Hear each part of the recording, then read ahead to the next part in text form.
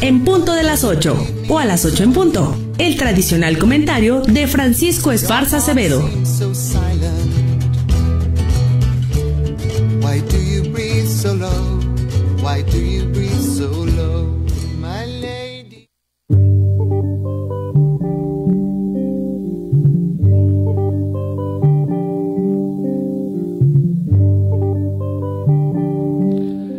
Más fácil tener un avión que un ganso presidencial.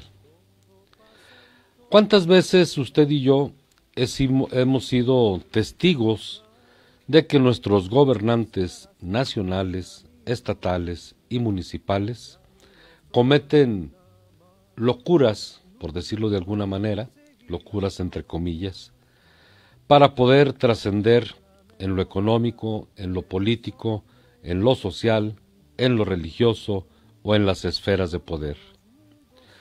Locuras que transitan de lo ideal a lo real.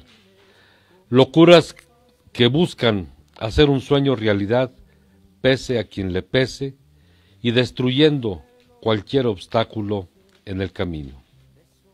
Esa chispa de locura, esa chispa distinta, ese pensamiento único y brillante, ese talento que va más allá de lo innato, ese toque maravilloso que transforma una pieza común en una obra de arte, crea, de acuerdo a los estudios, un binomio existente entre la creatividad y la locura.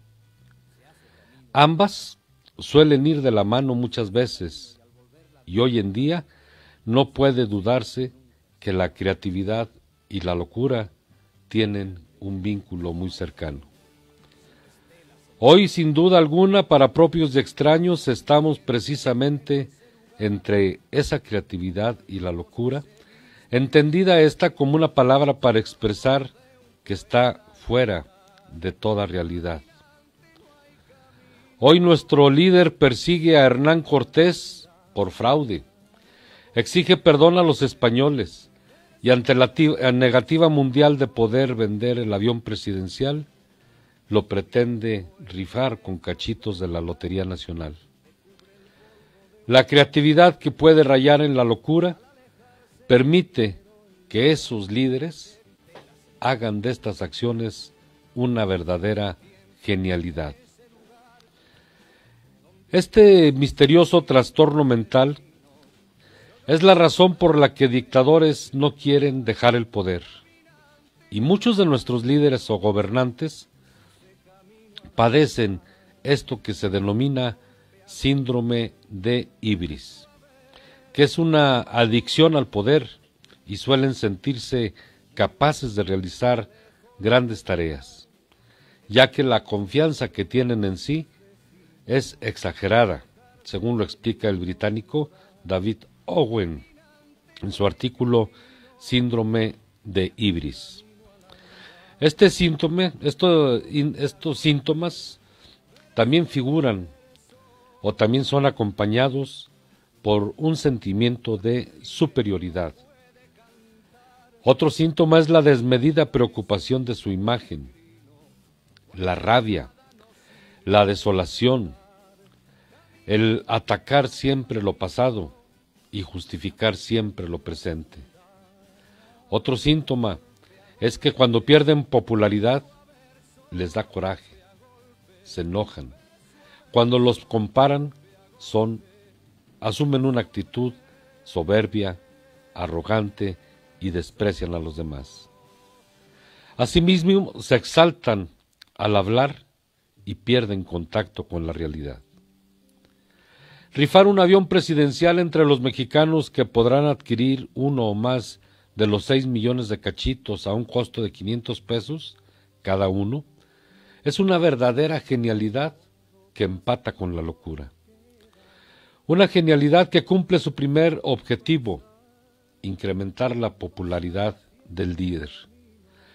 Una genialidad también acompañada de burla, soberbia y arrogancia para buscar ocultar el fracaso del capricho presidencial por no poder vender el avión que no tiene ni Obama.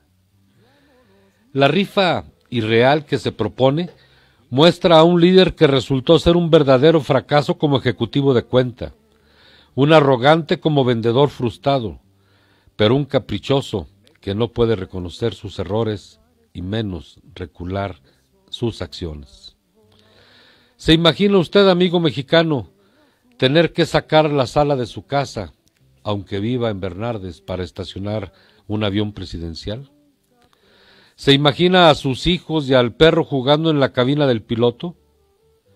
¿Se imagina volar en su avión presidencial de Zacatecas a Aguascalientes? Compre su cachito de 500 pesos y gane un, un avión que no lo tiene ni Obama, ni Donald Trump, y mucho menos ese que usted ya sabe. ¿Se imagina si el ganador de la rifa es Enrique Peña Nieto o Felipe Calderón? o Vicente Fox o Carlos Salinas? ¿Cómo sería la entrega, la ceremonia especial gratuita que ofrece Andrés Manuel López Obrador para entregar el avión? Tener un avión presidencial no es cosa sencilla, sino cualquier tonto lo tendría. Por cierto, no olvidemos la impunidad en este show del avión. No olvidemos la impunidad con la que goza y transita por el mundo quien compró el avión presidencial, Felipe Calderón. Hasta la fecha se han pagado 1.833 millones de pesos y faltan por liquidar 2.724 millones de aquí al 2027. Nos guste o no, se compró en un pueblo donde hay miseria, donde hay muchas necesidades.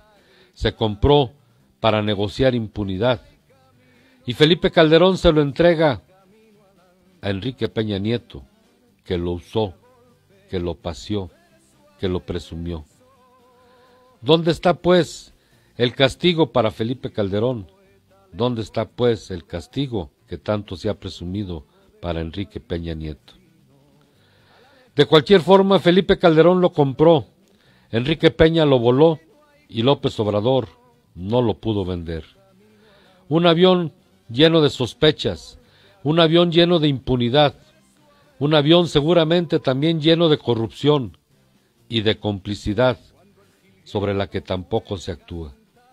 A menos de que la próxima locura sea vender cachitos de corrupción, cachitos de impunidad, cachitos de complicidad, cachitos de cinismo, cachitos de mediocridad.